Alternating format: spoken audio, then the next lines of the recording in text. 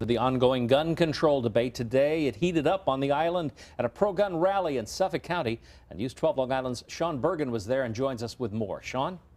Drew, just days after Governor Cuomo signed what are thought to be the most restrictive gun laws in the country, there is a backlash brewing.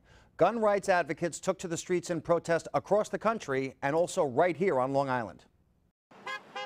Waving flags and carrying signs to support their right to own firearms, Hundreds of protesters gathered in Huntington to express their dissatisfaction with strict new gun laws. The average gun owner has been demonized, demonized by the press, demonized by the liberal establishment, demonized by our own governor here in New York State. On Tuesday, Governor Cuomo signed into law tough new restrictions on assault style weapons and ammunition magazines. Some key provisions would make unsafe storage of assault weapons a misdemeanor. It would require mental health professionals to contact authorities if a patient threatens to use a gun in a crime and it will also restrict ammunition magazines to seven bullets, down from 10.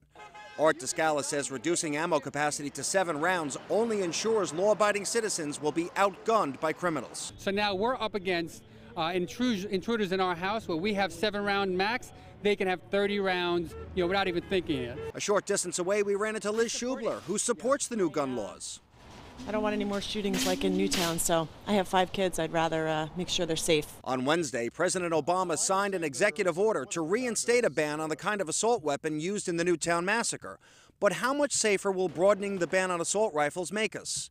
According to last year's FBI crime statistics, there were 323 murders committed with rifles, 728 using fists and feet, nearly 1,700 using knives, and 6,220 people were killed using handguns.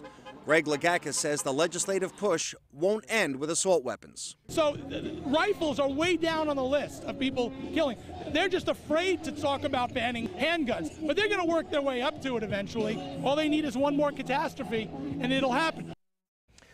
Now, we did see a number of protesters wearing tags saying they would not comply with the new gun laws. They claim they're not bound by laws they say are unconstitutional. Jackie?